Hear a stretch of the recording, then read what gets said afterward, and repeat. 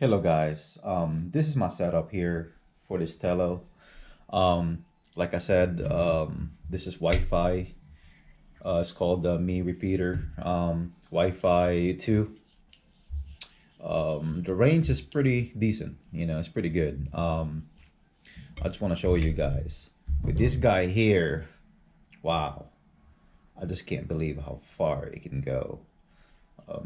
And also it got hit. and look at it no damage. And this thing got hit by a truck.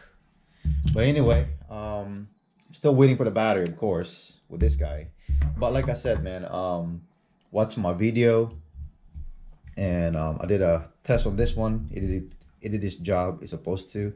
So you can get this for like $13 i think it's not saying worth for an investment because i already know this this one's probably going to come up with the transmitter but it's just good to have also you know if you want to go ahead and just have a decent live feed. It's not gonna make your video better it's just gonna give you a boost longer range just just letting you know that. So if it's not gonna be a good like quality of it it's just gonna give you range. So um yes it did work but like i said watch my video um what i'm saying with this one there's no gps um, but still hover like a GPS. And I'm actually flying this in pretty strong wind. It's actually raining too, so just letting you guys know. Um, yeah, I did good, and I'm just surprised. But anyway, yes, it does work. So um, you guys look it up.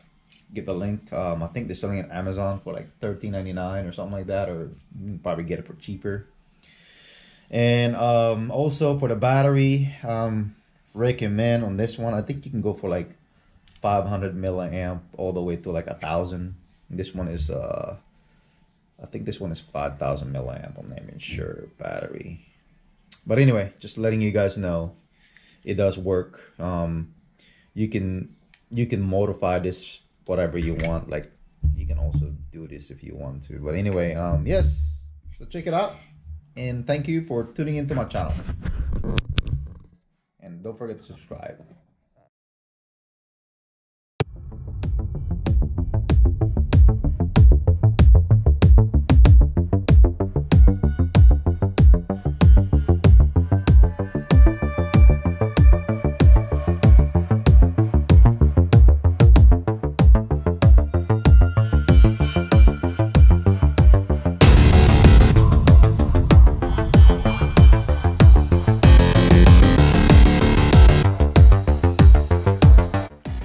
And you can see here it's actually raining and it's windy. So especially if you're far all the way here and with the extender it could you know two things could happen. You gotta lose your tello.